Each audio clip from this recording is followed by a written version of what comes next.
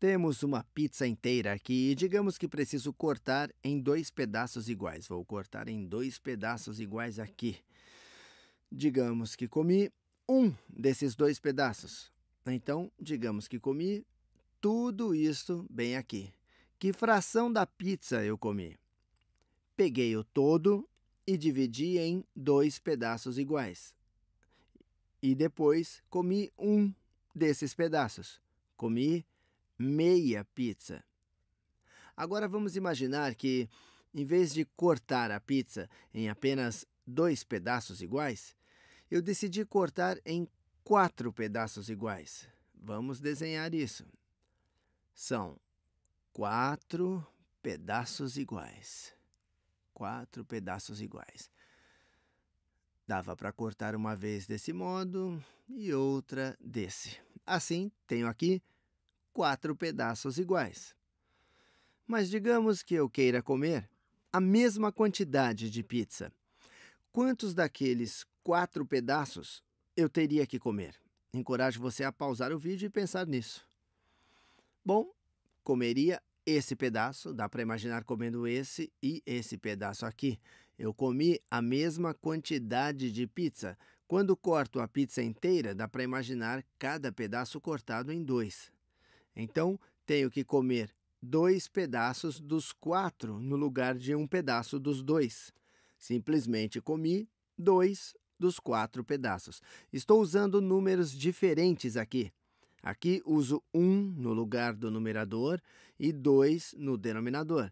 Já nesse, eu uso 2 no numerador e 4 no denominador. Essas duas frações representam a mesma quantidade. Comi a mesma quantidade de pizza. Se comi 2 quartos de uma pizza, se comi 2 uh, de 4 pedaços iguais, quer dizer que isso é a mesma fração da pizza, como se eu tivesse comido um de dois pedaços iguais. Assim dá para falar que essas frações são equivalentes. Vamos fazer outro. Em vez de só dividir em quatro pedaços iguais, vamos dividir em oito pedaços. Agora, podemos cortar uma vez assim. E agora tem os dois pedaços iguais. Corto uma vez assim, tem os quatro pedaços iguais. E então dividir cada um desses quatro pedaços em dois pedaços. Vou cortar aqueles. Vejamos então. Eu quero que sejam pedaços iguais. Aqueles não parecem tão iguais quanto eu gostaria. Assim, aquilo parece mais igual e aquilo é razoavelmente, vai. Tenho quantos pedaços iguais? Tenho oito pedaços iguais, mas digamos que queira comer a mesma fração da pizza. Poderia comer todos esses pedaços bem aqui. Quantos daqueles oito pedaços iguais eu comi?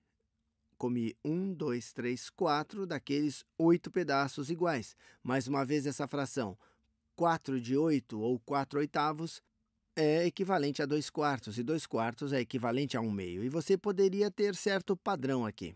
Indo desse para este caso, tive duas vezes o número de pedaços iguais, porque fiquei com duas vezes o número de pedaços iguais. Precisei comer duas vezes o número de pedaços. Então eu multiplico o denominador por 2 e multiplico o numerador por 2. Se multiplico o numerador e o denominador pelo mesmo número, não estou mudando o que representa aquela fração. E você pode ver isso bem aqui. Indo de quatro pedaços para oito pedaços, cortei cada pedaço e transformei em mais dois pedaços. Portanto, obtive duas vezes mais pedaços. Agora dá para comer duas vezes mais. É assim com todos os casos. Um meio, dois quartos, quatro oitavos, dá para continuar e ir até o oito dezesseisavos. Poderia ter dezesseis trinta e dois avos. Ainda assim, todas seriam frações equivalentes.